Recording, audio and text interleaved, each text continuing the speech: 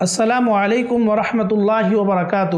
الحمد للہ رب العالمین والصلاة والسلام علی رسول الکریم، نبینا محمد وعلی آلہ وصحبہ اجمعین، اما بعد۔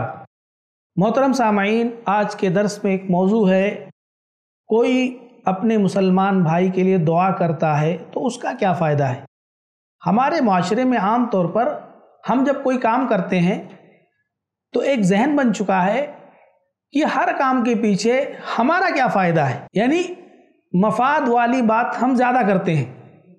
اگر ہمیں کوئی کسی بات کا حکم دے یا ہمیں کسی بارے میں کوئی بتلائے کہ آپ یہ کام کرو، تو جو بتلاتا ہے اس سے سوال ہوتا ہے کہ بھائی میرا کیا فائدہ ہے؟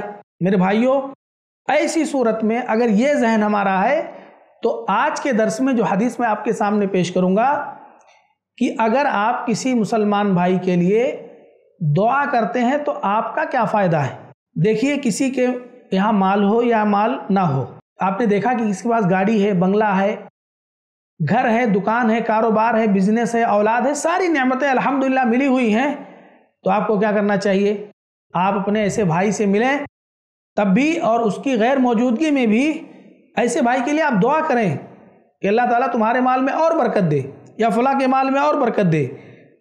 کیا فائدہ ہوگا؟ آپ کے لیے بھی اسی طرح کی دعا کی جائے گی۔ آپ کے مال میں بھی برکت ہو، جو دعا آپ اپنے بھائی کے لیے کریں گے، اسی طرح کی دعا آپ کے لیے بھی کی جائے گی۔ اور اللہ رب العالمین آپ کی دعا کو قبول کرے۔ آپ کے حق میں جس نے دعا کی ہے، وہ دعا قبول کر لے، دونوں کا فائدہ ہے۔ میرے بھائی اور دوستو، مومن کا کبھی کسی معاملے میں نقصان نہیں ہوتا ہے۔ اس کی نیتیں اچھی ہونی چاہیے۔ آئیے درس کو سمجھنے کی کوشش کرتے ہیں۔ حضرت ابو دردہ رضی اللہ تعالیٰ عنہ حدیث کے راوی ہیں۔ صحیح مسلم کی یہ حدیث نمبر ہے دو ہزار سات سو بتیس ٹو سیون تھری ٹو۔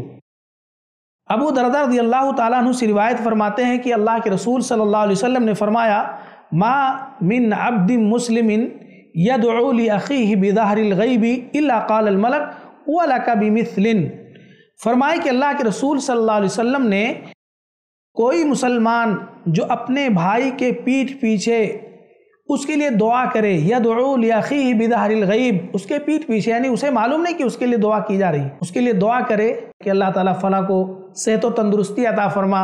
اے اللہ فلاں کے مال میں برکت دے دے۔ اے اللہ فلاں کے تمام مسائل کو حل کر دے۔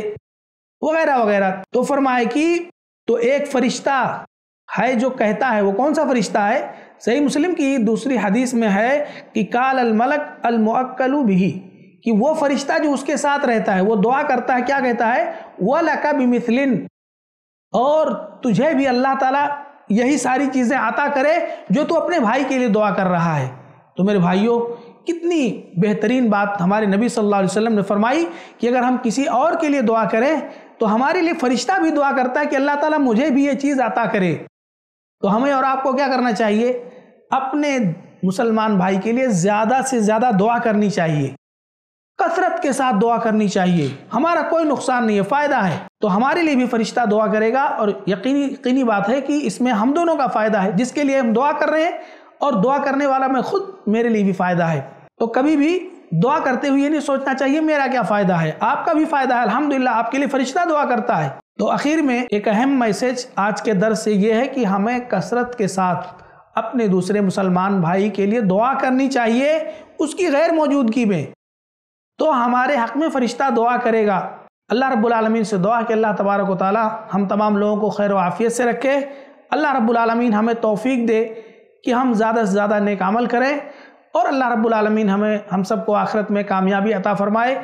آمین۔ تقبل یا رب العالمین۔ جزاکم اللہ خیرہ والسلام علیکم ورحمۃ اللہ وبرکاتہ۔